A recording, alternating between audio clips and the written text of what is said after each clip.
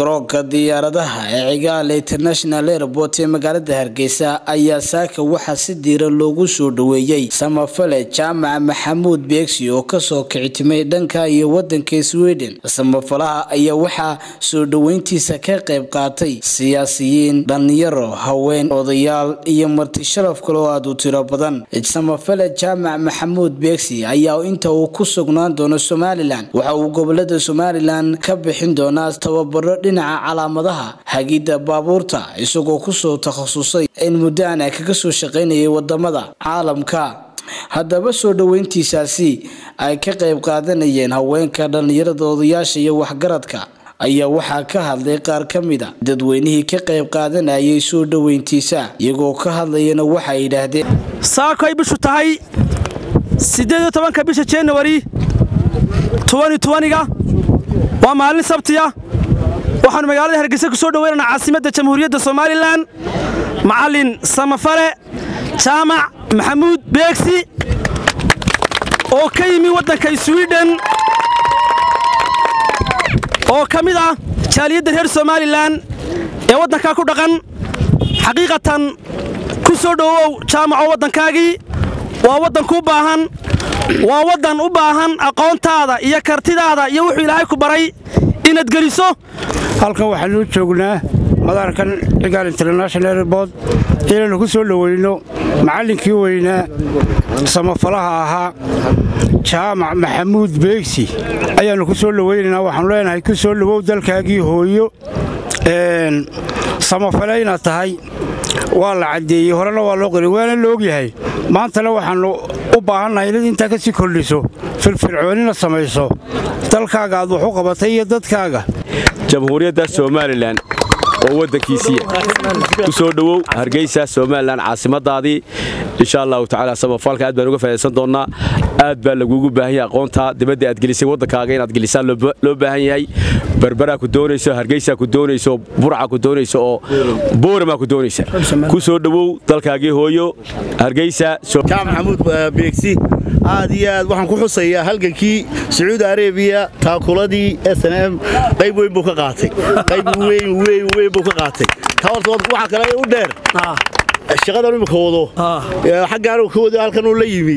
Dalkuna wuu kuu baahnaa fadal inaadan ku soo dhowo aad iyo aad baad u baahsantahay wabarakaatu waxaan xaggan ku soo dhowaynaynaa suxufiga qaaliga aqoon-yahanka qaaliga. Runtii waxaan u malaynayaa waa marxalad loo baahnaa in laga faa'iidaysto.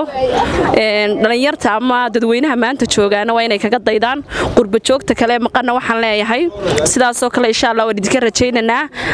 Alaabahan iyo maanta arrintan la wadana waxay somalilan ka maqnayd. Dhibaatada weyn waxa naga haysta waa waddooyinka iminka intaan madaarka u soo soconay waddo walba way xayirnayd. Taraafika joogtaa may jirin kaantarool muu jirin. Runtii waa waxyaabo badanoo loo baahnaa.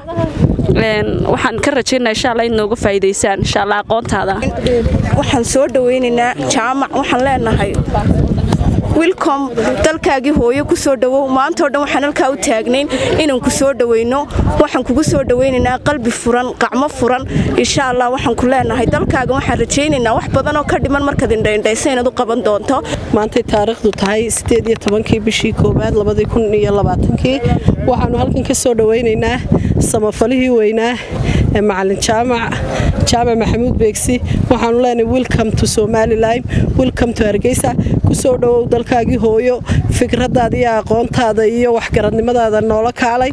Ku soo dhowow hargeysa baanu leenahay welcome to somalilan mar labaad waxaan leeyahay jaamac maxamuud beegsi soo dhowow jaamac ku soo dhowow dalkaagii ku soo dhowow magaaladaadii. Raxmaan raxiim halka waxaan ku soo dhoweynayaa walaalkay jaamac maxamuud beegsi.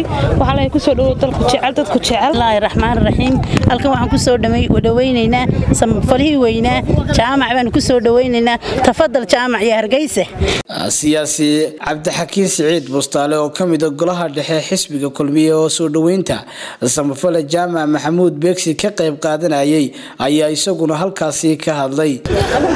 Maanta halkan waxaan u joognaa madaarka caalamiga cigaal international airport inaan ku soo dhoweyno samafalihii weynaa macallinkii weynaa samafale jaamac maxamuud beegsi oo runtii ka mid ah dadka farakutiriska marka qurbaha la joogo abaabula isku xidha bulshooyinka kala duwan ee reer somalilan iyo dadka afka soomaaliga ku hadlaba isagoo ka qayb qaatay runtii caawimaado fara badan oo lagu caawinay dad badan oo dhibaataysan oo ku kala dhibaataysan deegaanada ay dadka soomaalidu kala degaan.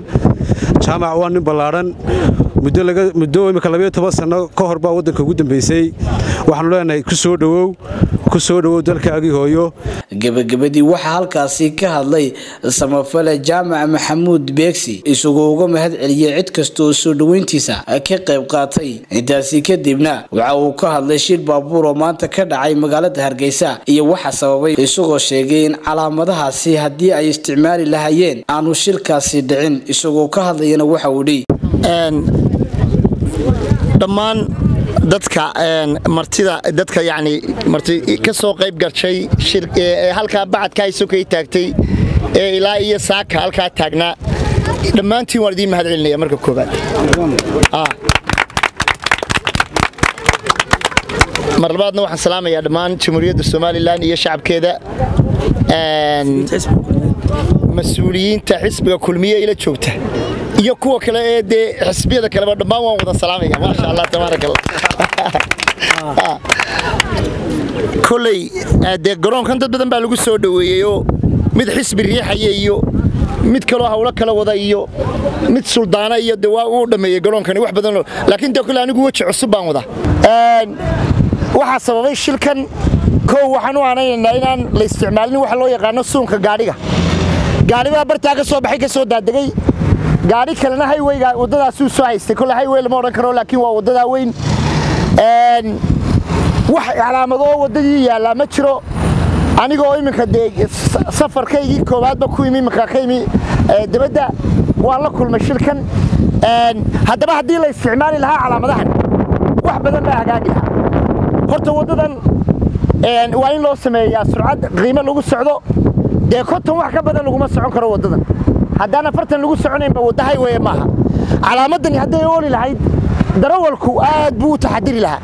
Waxa kaloo dheer gaadhiga halkaa ka soo degaa maadaama uu haywey gelayo waddo gelayo weyn calaamaddaa in halkan lagu dhajiyo wey calaamaddaa istobtaa waa inay calaamaddaa istobtu qabato. Calaamaddaa istobtu waa inay qabato gaadhiga halkaa ka soo baxaya waa inuu tayrada dhulka ku qallajiyo waa inuu bidix iyo midigba iska eego markaa kadibna galaa waxa weeye khatarta dhacday gaadhigaasi halkaas uga soo tuuriyeeyey kuwanna halkan bay ka soo galeen waa la isku dhacay. Marka waxaan leeyahay waxaynu u baahannahay waxaynu u baahannahay in la dhiirigeliyo suunka. Iminka shilkaa dhacay waxa dhacday inay qaarkood muraayadaha ka soo go'een. Marka waxaan rajaynaynaa insha allah in la dhiirigeliyo beeltaha insha allah. Waan ka hawlgelaynaa xukuumaddana waxaanu ka codsanaynaa inay nala hawlgasho calaamadahaasaanu samaynay waxaanay urur tabaruca waxaanay dad annagu u soo xoogsi tegey ma nihin dad wasiirnimo ka doonaya ma nihin waxaan doonaynaa tabarucii aan yurub kaga soo shaqayn jiray dhowr iyo tobanka sano ummadda ugu soo shaqaynayey inaan halkan ka bilaabo muddada yaraan joogo. Xamse jaamil xuseen xamse abuur star t v hargeysa